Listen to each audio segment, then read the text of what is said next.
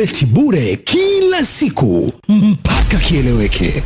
ya afisa habari wa klabu ya Young Africans Ali Kamwe eh, baada ya mchezo kuweza kutamatika, na hivi ndivyo ambavyo unaweza ukaona anaondoka hapa ah, katika uwanja wa Benjamin Mkapa. Hajaongea na waandishi wa habari siku hii ya leo, bila shaka ah, matokeo yamemuumiza sana, matokeo yamemuumiza sana, si yeye tu, lakini wadau wapenzi wa soka wote kwa ujumla wakiwa wameumia kwa kile ambacho ah, matokeo yametokea.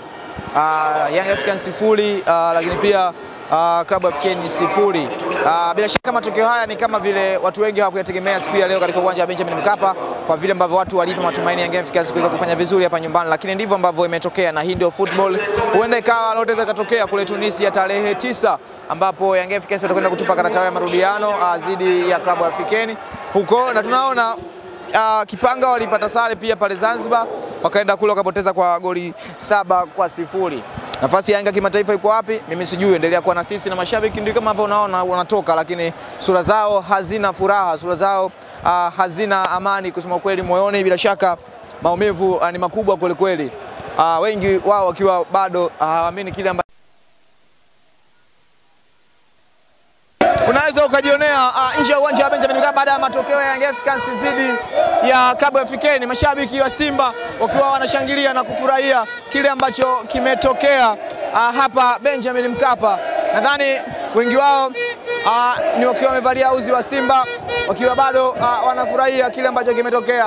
Uh, Young Africans kuweza kupoteza ama kuweza kulazimisha sara bila kufungana dhidi ya klabu Afrikeni, matokeo ambayo watu wengi sana uh, yamewaumiza haswa wana Yanga baada ya kile ambacho kimetokea hapa. Huenda ikawa ni safari ya Young Africans imeishia hapa ama vipi? Wacha tusubiri tukaone kile ambacho kitakachoenda kutokea uh, kule Tunisia, kwa sababu bado nafasi ya Yanga ipo, mechi bado haijaisha. Dakika 90 za nyumbani zimemalizika, bado dakika 90 za ugenini ambazo zitakwenda kuchezwa tarehe tisa kule nchini Tunisia, na hicho ndicho ambacho unaweza uh, ukakiona hapa nje ya uwanja wa Benjamin Mkapa. Rangi zimetawala ni nyekundu na nyeupe, unaweza ukajiuliza ilikuwaje, lakini ndivyo matokeo ya mpira wa miguu ilivyo, na hao ndio watani wa jadi. Mmoja anavyoweza kufanya vibaya, basi mmoja na kwa kwake ni furaha, na huyo ni moja ya warembo ambao wanashangilia. Mambo Poa! uko poa? Niko poa. Mambo yanasemaje? Mambo fresh.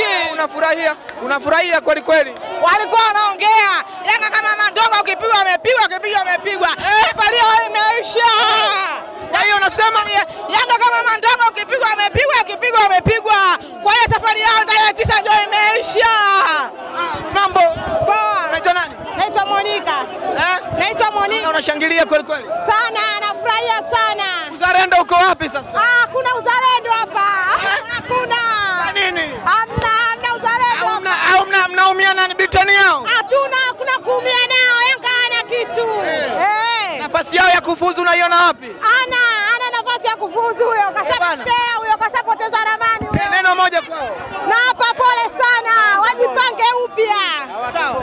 Eh, Bana, hivyo ndivyo ambavyo unaweza ukajionea hali jinsi ambavyo ilivyo kwa sasa hapa katika uwanja uh, wa Benjamin Mkapa nje, ambapo mashabiki wa Simba uh, wakiendelea kufurahia na kuweza kusherekea kile ambacho kimetokea hapa baada ya matokeo ya Yanga dhidi ya klabu Afrikeni. Kwa juu hapo zogo kubwa kwelikweli, furaha kubwa kwelikweli, wananchi hawaamini kile kilichotokea, lakini ndivyo ambavyo baada ya uh, Africans kuweza uh, kushindwa kupata ushindi katika uwanja uh, wa Benjamin Mkapa na kuweza kuremesha sare ya goli uh, ya kutokufungana ya, na hilo ni gari la uh, klabu African na anafanya kama Fiston Kalala Mayele uh, akiwamaanisha kwamba bado anawapenda, lakini ndivyo ambavyo kimetokea.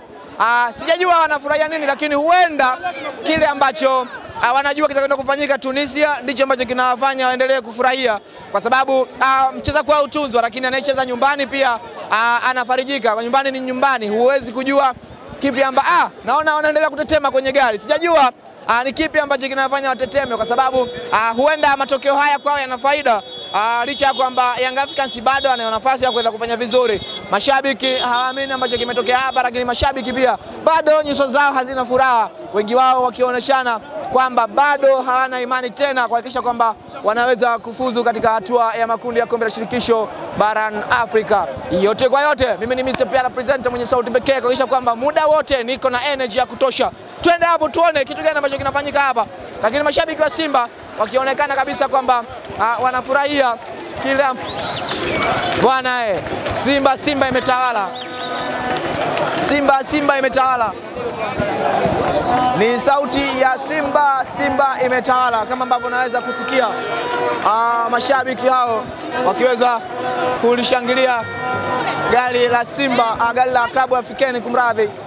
E, na hivyo ndivyo ambavyo unavyoweza kusikia ni Simba, Simba, Simba, Simba. Ah, bila shaka hao ndio watani wa jadi bwana.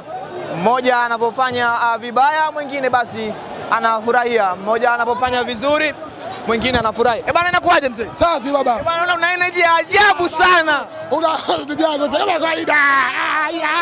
Una energy ya hatari. Kaka adui mwombe njaa ndugu yangu. Adui mwombe njaa. Yaani ukiona wewe adui yako mwombe njaa. Huyo si adui yako ndugu yangu. Ukiwa adui yako yoyote mwombe njaa. Na Natamani kulia. kaka toka ndio inaitwa toka nkae. Inaitwa toka nkae, shughuli ndio imeisha. Yaani wakifika kule, sisi viongozi tunapanda farasi, tunakuwa tunazunguka mule Tunisia mule, sisi viongozi ah, tunaachia wachezaji wamalize shughuli. Watani wamefeli wapi? Watani kaka, mimi nakwambiaje, watani washa- washazoea bahasha. Watani je, kama hakuna bahasha mpira hakuna. Yaani bahasha kwenye 25 mtu kati ya kwenye 18 kwenye, kwenye 18 ndio mpira wao, lakini mpira kama bila bahasha, tushindane nguvu, tushindane tu- tushindane football. Watani hamna kitu, si umeona kaka leo hapa wako nyumbani, lakini kama wako genini hawana chochote watu kifanya. Yani biswa sijaelewa hata kidogo yani. Yani Waarabu walikopo walikopo lakini kama vile wako nyumbani. Wao nafikiria wakenda Tunisia kuna kazi gani tena? Shughuli imeisha. Kwani Yanga kwa nini wasije kwenu kuiga jinsi ya kutumia Benjamin Mkapa? jeuri, sio kama hajui, kama sisi tumwazidi. Jeuri, Ah, jeuri, jeuri ndugu yangu, yani sio kama hajui, kama sisi tumwazidi, sisi tumwazidi mbali sana, yani sisi tumwazidi, tuko mbali, yaani tuko hivi, ila jeuri, jeuri. Nimeona jamaa wakawa wanashangilia hapo kama Mayele, wengine kama Sako. ziaki, ana ziaki. Wanasema kwamba mnaumia kwa sababu ya unbeaten yao. Ah, na leo tunawapiga makofi pia, hata leo hajafungwa, kana wafungwa hajafungwa, lakini sisi Waarabu tunajua akija kule. Aya dada hizi Ah, wenye kaona sita dakika thelathini kadi nyekundu mbili, shughuli imeisha, tunalala tu vitumbo juu Maji na mafuta vimeanza kujitenga kimataifa. mapema mapema sana kaka, mimi nilisema toka muda, nilisema toka muda, kama wasipoiga wasipoiga, wa- kama hajatuiga hawatoboi. Mimi nilijua hawatoboi, hawatoboi na hawatoboi kweli. Woyo woyo woyo. Woyo woyo woyo. Kula